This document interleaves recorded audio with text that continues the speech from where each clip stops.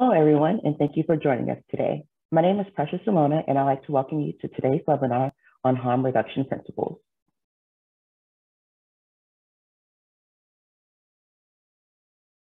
Here are a few house or Zoom keeping considerations to have in mind during our session.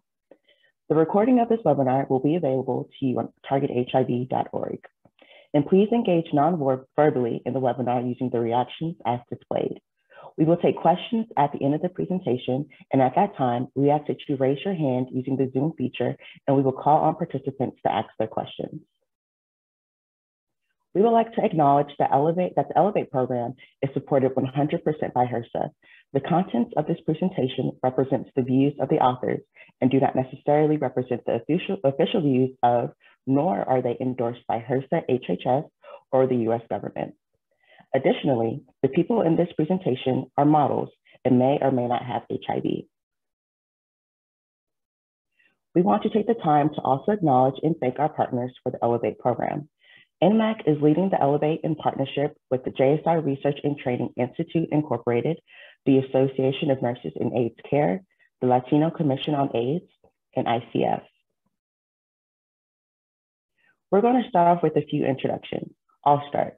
Again, my name is Precious Alona. My pronouns are she, her, and I'm a webinar developer for Elevate with JSI. My name is Michelle Dawson. My pronouns are also she, her, and I am JSI's webinar lead. And we're so pleased to be here today with our colleagues at NMAC. So in today's webinar, we're going to be going over some harm reduction principles. And by the end of today's webinar, you'll be able to describe the philosophical basis of harm reduction, the movement's historical roots and how it currently influences other service areas. You'll be able to explore your own ideas and attitudes about harm reduction, be able to brainstorm strategies for a step down harm reduction approach for an identified behavioral challenge, and identify next steps to integrate harm reduction approaches into your work. Before we get started with the webinar, we want to help you explore your attitudes towards harm reduction with the survey. There are a total of 10 questions and we will give everyone 20 to 30 seconds to record their responses into the chat. Let's get started. Question number one. Harm reduction encourages people to use substances or engage in risky behavior. True or false?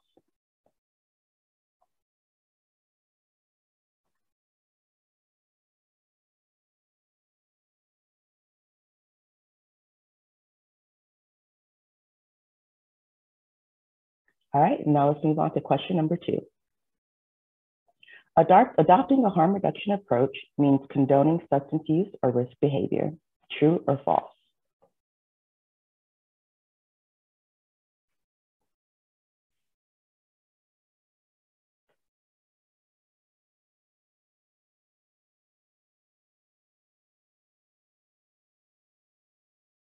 All right, now we'll move on to question number three.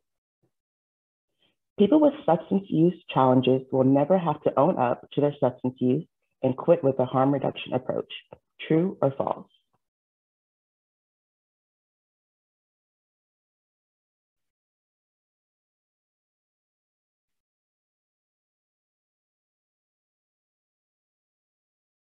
Now let's move on to question number four. A harm reduction approach places people at greater risk of harm, of harm and danger because of their lifestyle. True or false?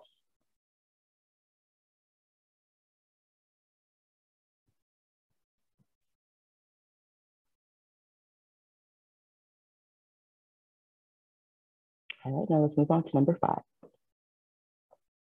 People with substance use challenges cause their own problems, and that's why they need to stop using substances. True or false?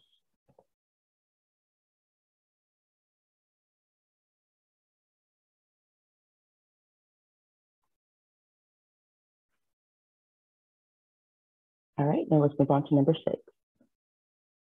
A harm reduction approach encourages more crime and danger to the public because it doesn't mandate substance use treatment. True or false?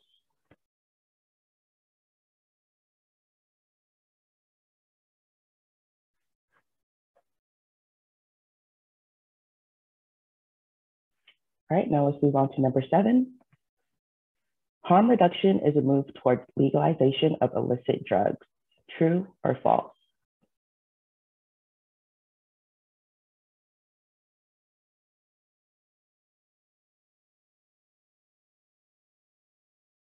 All right, and now let's move on to question number eight. People with substance use challenges can get over their problems if they want to. True or false?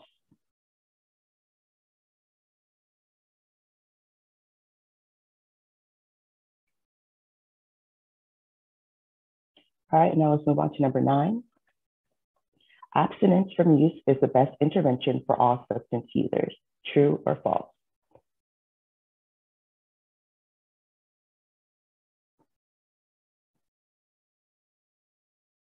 All right, and lastly, let's do number 10. Harm reduction should be condemned. True or false?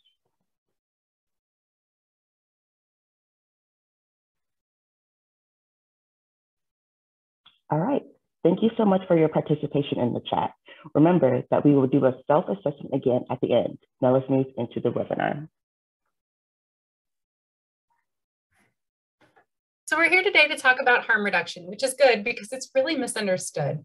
Just within the last month or so, harm reduction has actually been in the news a lot, partly because people don't, so many people don't understand what harm reduction is and how it helps support people to be healthy. A quick search of Google and Twitter pulls up thousands of tweets and news stories about harm reduction. I've included just a few clips here on the screen, and we see that the White House has taken action on harm reduction. We see that elected officials and the general public often misunderstand how harm reduction works, and that stigma still persists around harm reduction strategies. We see that harm reduction interventions, such as syringe services programs, can help to contain outbreaks of HIV, and that groups work hard to educate around the purpose and value of harm reduction approaches to service delivery.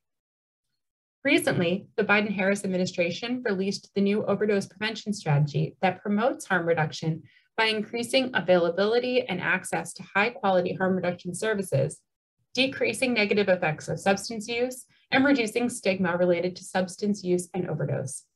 Today's webinar will help you to understand what harm reduction is and how harm reduction services help people where they are without judgment, stigma, or discrimination.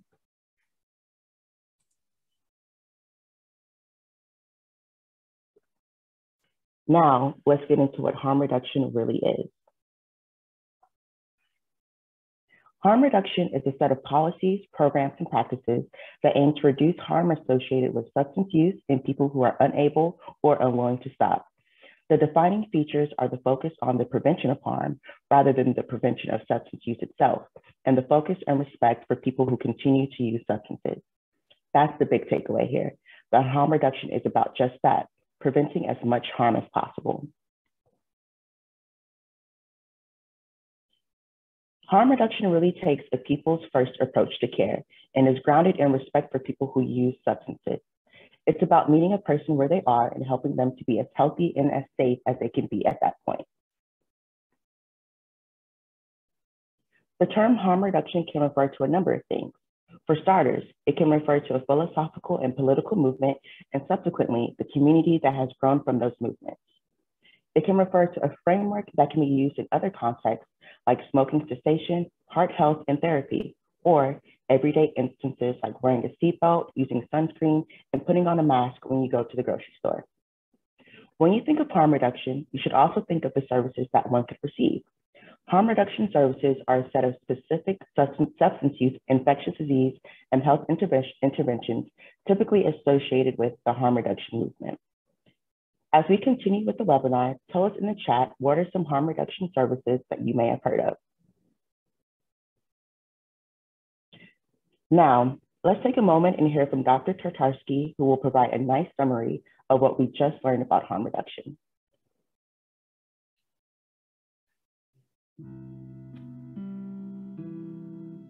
Harm reduction means reducing the harm of potentially harmful activities. And we engage in harm reduction all the time when we drive cars and put on seatbelts, when we ride bicycles and we wear helmets. It emerged specifically as an alternative to an abstinence-only approach, which closes down the possibility of helping people across the spectrum. It also enables us to start where people are as really a fundamental tenet. Positive change can refer to safer behavior, to reducing the behavior, to stopping altogether. We mentioned a few moments ago that there is a philosophical and political movement of harm reduction. These movements grow out of the eight principles of harm reduction. So let's spend a few minutes talking about those principles, those key aspects of harm reduction. According to the Harm Reduction Coalition, harm reduction incorporates a spectrum of strategies that include safer use, managed use, abstinence, meeting people who use substances where they're at, and addressing conditions of use along with the use itself. Because harm reduction demands that interventions and policies designed to serve people who use substances reflect specific individual and community needs, there is no universal definition of or formula for implementing harm reduction. However, the National Harm Reduction Coalition considers the following principles central to harm reduction practice. The first principle of harm reduction is a recognition that substance use is a part of our world. Rather than ignoring it or condemning substance use, whether that's licit or legal substance use or illicit, illegal substance use, people who do harm reduction work try to reduce the negative effects of substance use as much as possible. Harm reduction is grounded in the understanding that substance use is complicated and that people's experiences with substance use vary widely.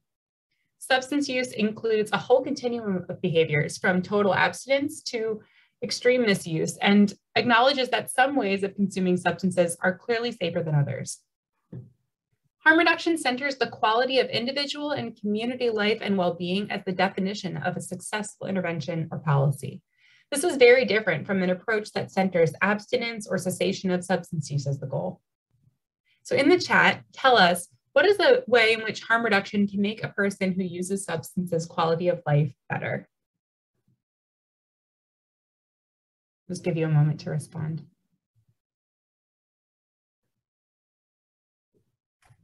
Thanks. If you think of others, you can feel free to chat them in.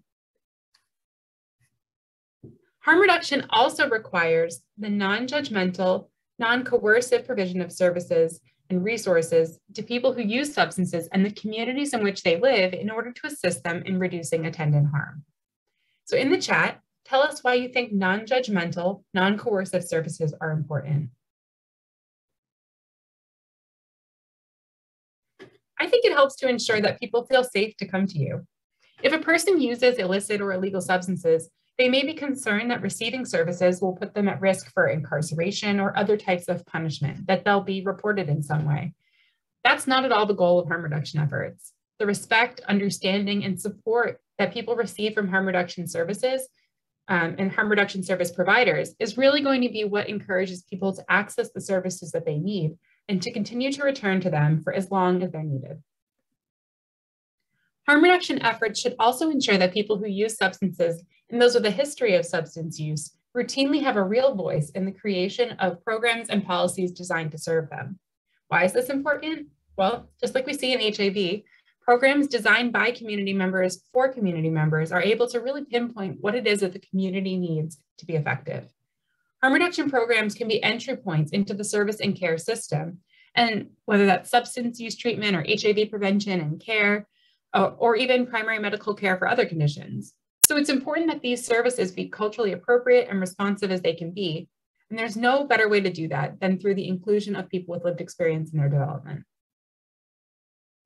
Harm reduction should also include substance users themselves as the primary agents of reducing the harms of their substance use.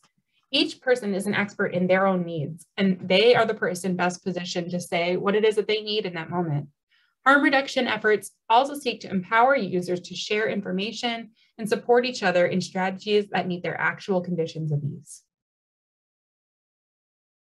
The last two principles of harm reduction are by no means the least important. Effective harm reduction programs recognize the realities of poverty, class, racism, social isolation, past trauma, discrimination, and other social inequities that affect both people's vulnerability to and capacity for effectively dealing with substance-related harm. This again goes back to our discussion from a moment ago, where we talked about how important it is for harm reduction programs to be culturally responsive and non-judgmental. Lastly, harm reduction doesn't attempt to minimize or ignore the real and tragic harm or danger associated with licit and illicit substance use. This is one of the big misconceptions of harm reduction programs, that they enable or encourage substance use and facilitate some of the negative repercussions associated with substance use. That's not the case. the programs actually help to get people on their way to healthier behaviors and even help some uh, on the path to um, recovery or to reduce, reduce or cease their substance use. It's just that harm reduction programs recognize that recovery might not be an option right now and seeks to prevent and reduce harmful effects in the meantime. And the graphic on this page shows that harm reduction goes hand in hand with recovery. By always working to meet people where they're at, uh, you're helping them towards tomorrow and maybe a step further along in their recovery. So let's see what we've learned so far. Which of the following is not an example of a harm reduction activity? Wearing a condom when you have sex, wearing a helmet when you ride a bicycle, wearing a seatbelt when you ride in a car, providing clean syringes or needles to a person who injects drugs, wearing masks in public places during outbreaks of respiratory illness, or putting warning labels on cigarette packages. That's right, putting warning labels on cigarette packages that smoking causes cancer might be a good idea, but it's not really a harm reduction strategy because just kind of advising people of the danger of smoking. An example of a harm reduction related to smoking cigarettes might be helping someone to reduce the number of cigarettes that they smoke in a day. So let's now hear from Terrell, who's going to tell us a little bit about his experience with harm reduction. Well, harm reduction saved my life because it's about making incremental changes. Coming to harm reduction where the arms were open, I was comfortable talking to people about things I never spoke about in my life. I was starting to feel like a human being instead of labeled a drug dealer, a menace, a crackhead, you know. They didn't use those words to me. Spoke to me and they used my name, Terrell.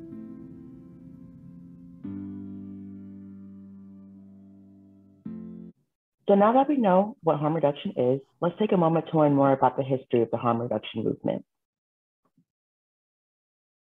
According to the Harm Reduction Coalition, harm reduction finds its roots and inspiration across multiple movements and strategies emerging across the United States in the 1960s, the 1970s, and the 1980s.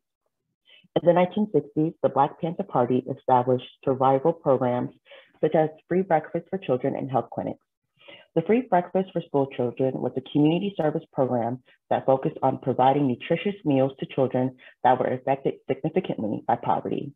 They also established the People's Free Medical Clinic to ensure that community members could receive adequate health care without the discrimination that they might have received when going to a hospital or private practice. In the 1970s, we really started to see the beginnings of harm reduction. This timing sort of coincided with the start of the HIV epidemic as it became clear that people who inject drugs were highly impacted by HIV. Harm reduction was really popular at the time as people looked for ways to protect themselves and the members of their community. For example, the Young Lords launched an acupuncture program for heroin users in the South Bronx that looked to alleviate the symptoms of withdrawal, with the belief being that if folks experienced fewer withdrawal symptoms, they may be more able to easily stop using heroin. Indeed, the program was very successful, but it was also a source of concern for some people. Harm reduction efforts really took off in the 1980s as the need for HIV prevention increased. But because of the rise in the number of those who had AIDS, harm reduction became important for multiple reasons, including reducing transmission of blood-borne infection and treating substance use disorders. As a result, prevention programs became more available and utilized with syringe exchange programs being the most well known. However, as these programs started, they were met with resistance that continues today. The resistance being the belief that they condone the use of drugs, despite the fact that it was clear from the start that people who use substances share many of the same experiences of stigma, discrimination, and disparities in care experienced by those with and at risk for HIV, and that injection drug use was a mode of transmission for HIV. As a consequence of the movement's origins, harm reduction has become intrinsically linked to a variety of specific health and substance use intervention programs, namely syringe exchange programs, which is a social service that allows people who inject drugs the ability to obtain clean and unused needles and at a little or no cost. Overdose prevention education, which provides knowledge to individuals who are looking for more effective and factual information on ways to avoid opioid abuse and potential overdose. You have medication assisted treatment, which is a multi pronged approach to address the national crisis. It includes educating physicians, regulating prescription pain relievers, challenging pharmaceutical companies, and expanding access to Narcan, an opioid antagonist that can reverse overdoses. You also have wound care clinics, which are medical facilities for treating wounds that do not heal. Skin and wound issues are seen frequently in people who inject drugs and help tremendously helpful in harm reduction. You have peer navigation and organizing, which in relation to harm reduction typically assists clients with substance use disorders by introducing, introducing their clients to available programs and services. And lastly, you'd have maintenance support groups, which can provide a robust network someone can turn to while on their road to recovery. There are many benefits to support groups, including gaining hope, helping others, and realizing that you are not alone. Harm reduction efforts continue today. This video spotlights harm reduction at the IDEA Exchange in Miami, Florida, a comprehensive syringe services program where staff work to deliver integrated HIV and harm reduction services to people who use substances and those in recovery, and learn from research projects how to optimize care to achieve the best outcomes. It provides a good overview of what harm reduction can look like today. Harm reduction was started by people who use drugs to save each other's lives. Here on 7th Avenue, right under the sun in Miami, is Florida's pioneering syringe service program, the IDEA Exchange, where tools like harm reduction, advocacy, and compassion are being used to save lives. At the intersection, stories of research, compassion, and HIV services for people who use drugs. What is harm reduction? At the intersection where compassion meets community, harm reduction takes on a more active role to avoid negative health outcomes. And it does so by meeting the community where they are at. Harm reduction is basically bettering a person's life in the whole community. Harm reduction to me is being able to go to a place and get clean stuff to use and not have to like rely on like going to a street and buying it or like hoping you're getting something clean or whatever it is. Harm reduction is understanding the world of the other and immersing yourself in it for long enough to understand from their point of view. meeting them where they're at. Just like we meet people on the street with syringes, I meet my patients by, by kneeling down. You just have to do what you have to do in order to, to be on that level and be on the same wavelength of the people that you're taking care of.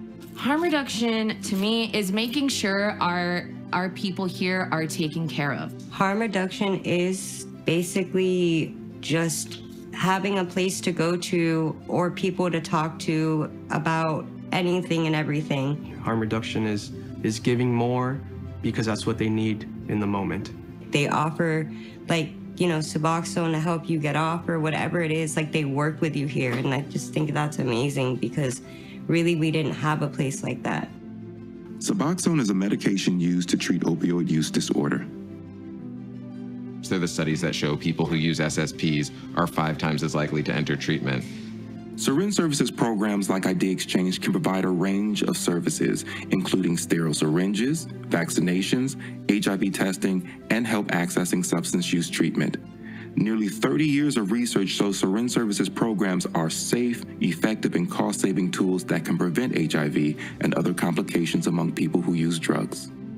Last night, that we started 12 people on Suboxone, and those are people who otherwise would not have had access to this life saving medication. And now they're on their road to recovery. Harm reduction is the first step in recovery, syringe services is the first step. But now we have the ability to start people on life saving medications for opioid use disorder. We're helping people in their recovery, but wherever they are on that spectrum. We have to respect the autonomy of our patients and understand that our one way of doing things does not work. We have to adapt and have a personal approach for everybody that we serve. Harm reduction is holding someone by the hand and saying, You're gonna come with me because I have the time to commit to you because you're worth it. And so, what do you need? Do you need to go to detox? I'm gonna go with you. Did you get them to the door? Did you follow up two days later to make sure they're still in treatment or did they fall out? It should be, Hey, I'm in this journey with you. You've now met me. You seem to want to do something to better your life, and I'm gonna support you. Let's run that mission. Harm reduction is understanding and compassion and strength and very nuanced. Harm reduction, it's love. So now that we know the principles of harm reduction, let's take a look at how groups take a harm reduction approach to care. We call it the harm reduction pyramid approach. The harm reduction pyramid approach is a tool that individuals can use to see just how risky their behavior is. Um, and let's take a look at it. The harm reduction pyramid approach believes that some risks are worse than others, and individuals can weigh the risks that they take to find a way to reduce risks that work for them. Harm reduction is a step down approach that respects that clients are the experts in their own lives. In this approach, individuals are encouraged to address what's most risky. Think about examples from your own life where you've made a decision to lower your risk.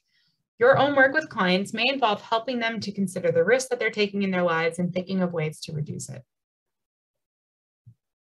If we take this example of traffic deaths, we see that at the top of the pyramid, the riskiest part is that a person is speeding, tailgating, texting, drinking, and not wearing a seatbelt.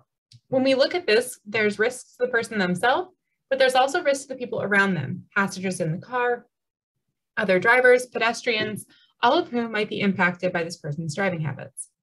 So what we would ask this person is what changes can we make to reduce the risks to themselves and to others? Certainly, we want to see a person driving within the speed limit with an appropriate following distance while sober, not distracted, and wearing the seatbelt. But that might not be a reasonable request for this person at the top of the pyramid. A harm reduction approach might be to help them to make a choice about what they could most easily drop. Um, if the person elects to stop speeding, they're, you know, they've moved down a little. Um, maybe after some time, they'll decide to stop texting and driving.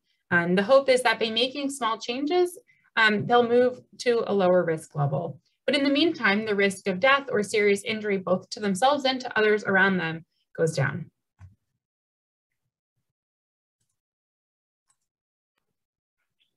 Now let's review a harm reduction case study together.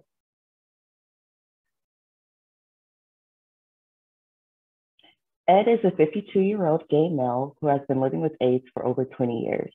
He has a history of polysubstance abuse ranging from alcohol use to years of previous cocaine use. Ed has agreed to participate in therapy sessions to address his depression, anxiety, and later his substance abuse. In year one, Ed agreed to weekly individual therapy, and he was open about his lifestyle and substance abuse history with his therapist. The focus was mainly put on building a sense of self efficacy and monitoring alcohol intake. Later in his first year, he was able to reach a, tr a, treatment goal and attributed positive physical and emotional changes to changes in his behavior. During his second year of therapy, Ed relapsed but was able to bounce back. He began working on triggers, cravings, and resentments. Meditation was used to, for stress management, and Ed began using a vaporizer for nicotine and THC, which led, which led him to consume cigarettes less. His individual therapy sessions turned into him being willing to participate in group sessions and even panel discussions. At the end of year two, Ed reached another milestone. Ed focused on processing his progress and adjusting to life without alcohol during his third year of therapy. He had control over his life that he had never experienced before. Ed's story proves that utilizing therapy and support groups as forms of harm reduction can be helpful in changing the trajectory of someone's life.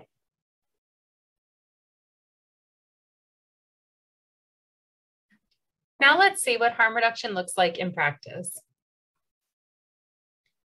We're going to take a moment to watch a video. We'll watch for a bit, pause for discussion, and then we'll watch the next bit.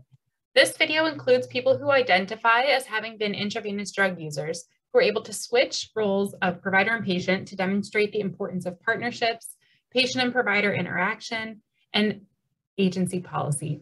Note that sometimes people use terms to describe themselves and their community that aren't person-centered. Um, also, this video takes place in Canada, Toronto, but uh, things hold. Okay, so um, before we finish up, we want to highlight our key takeaways just one more time. First, harm reduction is a set of policies, programs, and practices that aim to reduce the harm associated with substance use in people who are unable or unwilling to stop. The defining features are the focus on the prevention of harm rather than the prevention of the substance use itself, and the focus on and respect for people who continue to use substances. Harm reduction is a step down approach that respects clients as the experts in their own lives. And harm reduction strategies are used to address a wide variety of issues, for example, HIV prevention, tobacco use, and diabetes. So in the chat, tell us, um, thinking about your own work, how can you apply a harm reduction framework to your work in HIV? It could be in prevention or treatment or care.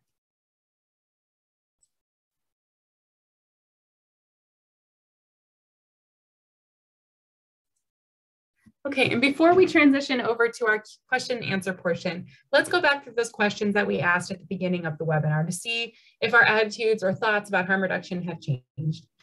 So in the chat, go ahead and tell us what you think. Um, so for to begin, let's think about whether harm reduction encourages people to use substances or to engage in risky behavior.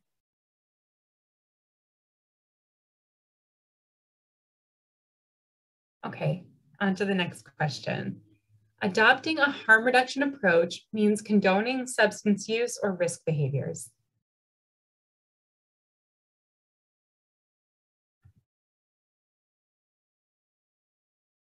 Okay. Third question, people with substance use challenges will never have to own up to their substance use and quit with a harm reduction approach.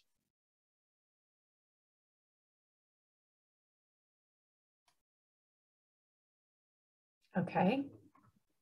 A harm reduction approach places people at greater risk of harm and danger because of their lifestyle.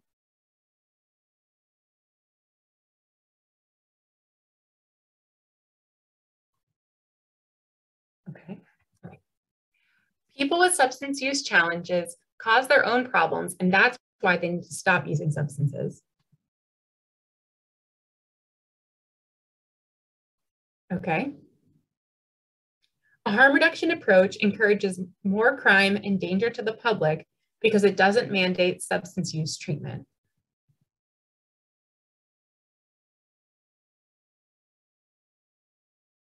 Okay. Harm reduction is a move towards legalization of illicit drugs.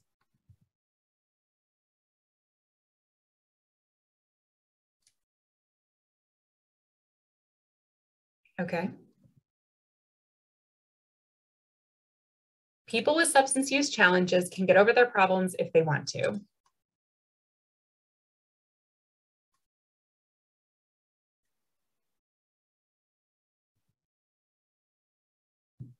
Abstinence from use is the best intervention for all substance users.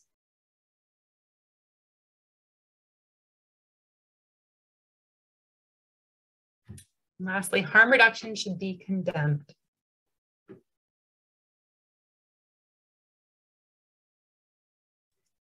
Thanks for that reflection.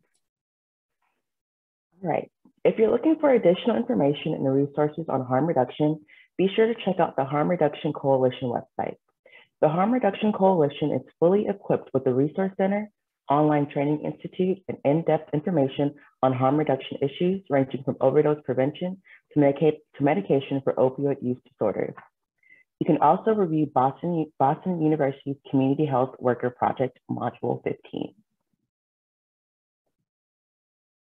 And that concludes today's webinar. We would like to thank you so very much for joining us today. We do have some time for questions and answers, so go ahead and think about and chat those in now while we make some announcements. Our next webinar will be on March 29th and will focus on structural determinants of health, the relationship to social determinants of health, and their impact on HIV prevention, care, and treatment. It will be another informative and interactive webinar, and we hope to see you there.